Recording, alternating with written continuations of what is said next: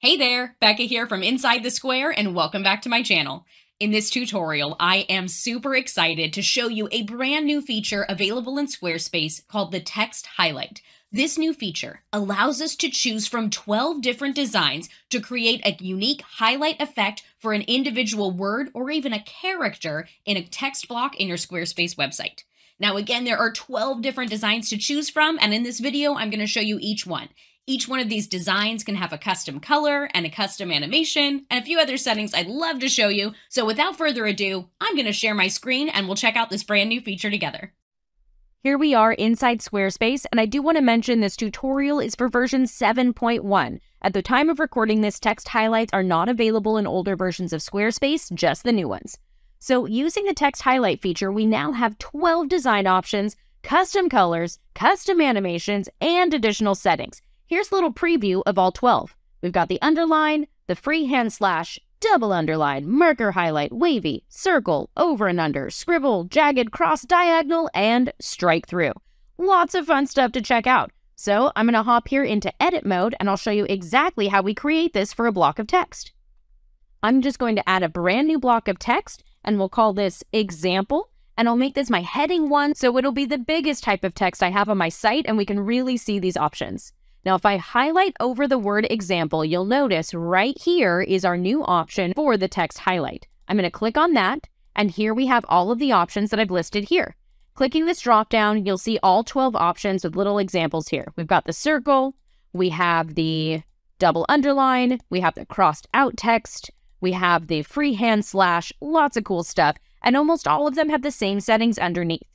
Now, the first thing that you can edit is the color, completely customizable grab one that's already on your color palette or select custom and pick any color you want. You can grab something from the color picker here or type in a hex color code that you want to use, completely customizable. But again, you can also use your color palette. It'll be right here.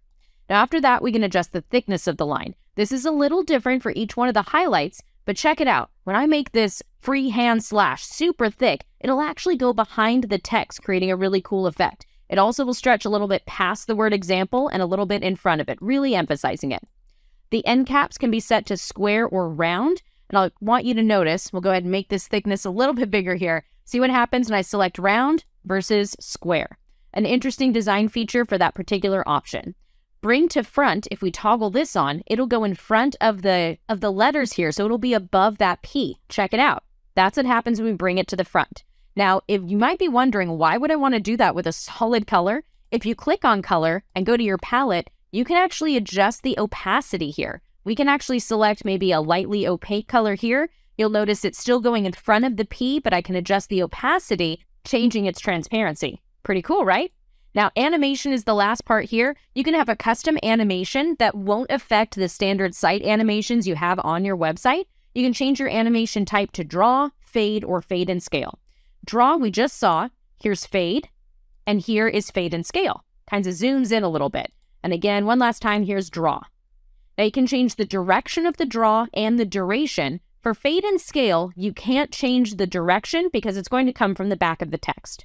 So again, we have our options up here, all 12 design options. Whatever you select, you can always change the color of it, and you should be able to adjust the thickness. Square and round is another option that we have here.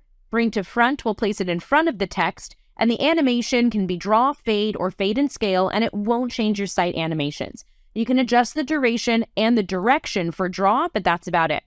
I also want to show you what happens when we select the circle option and scroll down here. We can still pick direction for draw, but it will just be clockwise or counterclockwise. Clockwise is our option to the left here, counterclockwise is our option to the right. And how did I reach this menu? I'll show you one last time. I selected text and then I clicked this option right here to access all 12 of our designs. And let's say you create one and you really don't like it. Scroll down to the bottom and select remove. That's how you can get rid of it. So one last time, highlight some text on your site inside a text block. That part's really important. Click on highlight and select any of these designs. Make any of the changes you want. Make any of the changes you want to its style using these other options and select remove if you don't want to see that text highlight feature anymore. When you're all done, make sure you select Save on that page and you'll be good to go. I hope you're as excited about this brand new feature as I am, and if you enjoyed this video, give me a like and comment below. And definitely subscribe to my YouTube channel, because I post a brand new Squarespace tutorial every single week, and I want to make sure you catch the latest. Now stick around, I've got another video queued up for you that I think you're going to enjoy. Here's what's coming up next.